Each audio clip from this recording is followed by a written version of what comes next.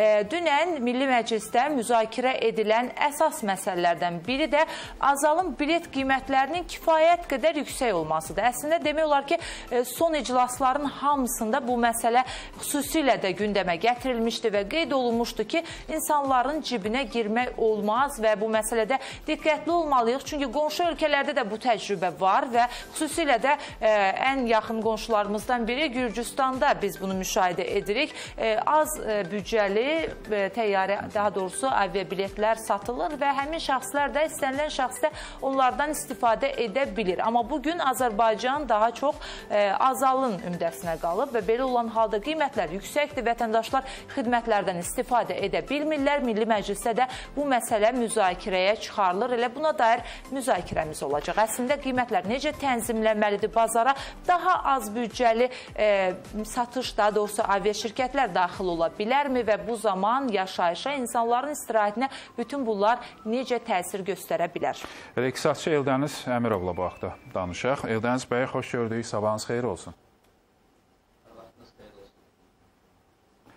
Eldəniz bəy, Eldəniz bəy, yəqin ki, bizi eşidirsiniz. Hər vaxtınız xeyir olsun, salamlayırıq sizi. Eldəniz bəy, e, dünən parlament iclasında da bir sıra millət vəkilləri azalan baha qiymətə e, bu biletləri satmasına şərhləndilər. Amma alternativ yollar nədir? Uzun illərdir biz bu söhbəti eşidirik. Alternativ nədir? Nə etmək lazımdır ki, qiymətlər aşağı düşsün? Yəni qonşu ölkələrin özümüzü müqayisə edə bilək. Ölkəmizdən Avropaya gedək, nəinki Gürcüstandan.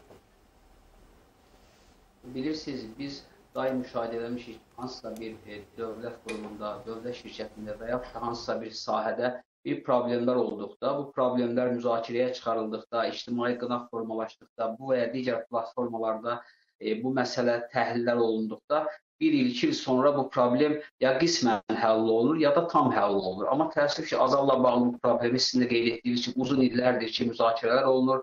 Amma deyərdim ki, e, ciddi bir ciddi yox, ümumiyyətlə heç bir dəyişdiyi, heç bir e, belə deyək, fərqi yoxdur. Sadəcə olaraq son e, bir müddət əvvəl məhz Azalın İnvestiya Holdinqinin idarəçiliyinə verilməsi, e, korporativ idarə etmə üsullarının tətbiqi ilə bağlı işlərin görülməsi, eyni zamanda burada müşahidə şurasının yaradılması kimi işlər həyata keçirilmişdir. Düşünürəm ki, bu proses e, Azalın fəaliyyətində öz müsbət təsirlərini göstərəcək. Amma bu qiymətlərə hansı formada təsir göstərəcək? Azalın təşkil etdiyi qiymətlər hansı formada təsir göstərəcək? Bu haqda bir mənalı danışmaq mümkün deyil. Çünki bilirsiniz, korporativ idarəetmənin e, təşkili və müsbət idarəetmə meyllərinin formalaşdırılması bilavasitə Azalın dövlət büdcəsindən asıllığını, dotasiyadan azadlığını və e, gəlirlə işləyən bir şirkətə çevrilməsini təmin edə bilər. Təsəvvür edin ki, 2020-ci ildə Azal da daxil olmaqla 5 e, dövlət şirkəti e, dövlət büdcəsinə 81 milyonluq e, bir vəsait ödəmiş, əvəzində isə 1,5 milyard manatlıq bir belə deyək, yardım almışdır. Bu ödədiyi puldan təxminən 19 dəfə artıq bir vəsaitin götürülməsi anlamına gəlir. Bu məhz dediyimiz bu yeni struktura verilməsi məhz bu problemi həll edə biləcək. Amma Qiymət məsələsi də bu nə cür təsir göstərəcək? Bu sual altındadır. Çünki e, qiymətlərin aşağı endirilməsi üçün mütləq şəkildə lazım olan məsələ rəqabət mühitinin formalaşdırılması. Rəqabət mühitinin olmadığı bir e, ortamda e, düşünmürəm hansısa bir e, belə deyək e, qiymət endirimi mümkün olsun. Bilirsiniz, Azalın e, deməli ilkin olaraq daha çox biz vətəndaşların narazılığını müşahidə edirik. Görürük ki, vətəndaşların e, cibinə girilir, vətəndaşlar daha çox e, xərcə düşürlər, vətəndaşlar Gürcüstan üzərindən aviasirayət keçirirlər və s. kimi biz eşidirik. Amma bu məsələnin görünən tərəfidir. Görünməyən tərəfi isə biz deyirik ki, qeyri-neft sektorunda e, turizm e, bəs əsas aparıcı iki sahədən biridir. Azalın hazırda qiymət siyasəti məhz bu sektora da öz mənfi təsirini göstərir. Təsəvvür edin ki, e, xarici turistlər Avropadan, ya Rusiyanın, Rusiyanın özündən və ya okeanın o birisi üzündən gələrkən e, bizim e, belə deyək, regionda iki böyük rəqibimiz var, Gürcüstan və Türkiyə.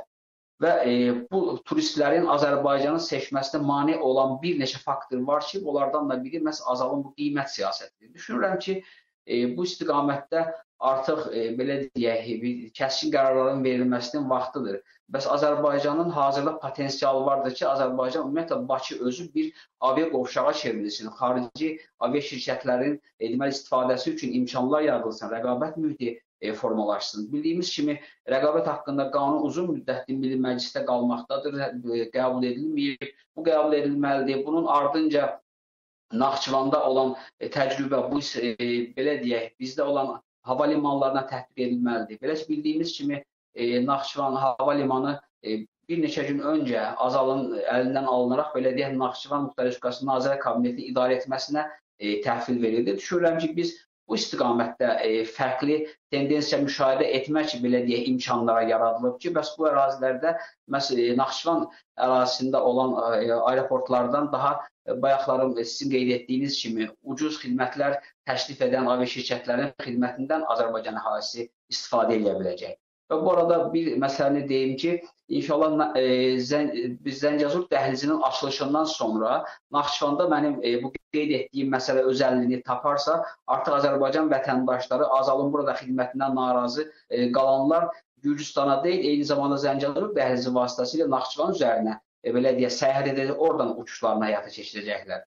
Təsəvvür edin ki, e, Gürcüstan Gürcüstanda e, deməli E, bu iyulun 4-dən, yəni sabahdan artıq e, əslində bir 10-15 gün öncədən bu elanlar verilmiş ki, Avropanın e, kifayət qədər avia şirkətləri Gürcüstan üzərindən olan müxtəlif şəhərlərində, müxtəlif e, hava limanlarından Avropa uçuşlar e, təşkil edəcəklər. Bunlardan bir rəqəmi deyim, e, deməli bu istiqamətdə olan 170 dollarlıq bir avia bilet həmin gün və həmin tarix üçün Azal tərəfindən 700 dollara təqdim Təxminən 4 dəfədən artıq e, bir fərqli qiymət artımıdır. Bu da həm iqtisadiyyata zərərdir, həm e, büdcəyə, həm də vətəndaşlara.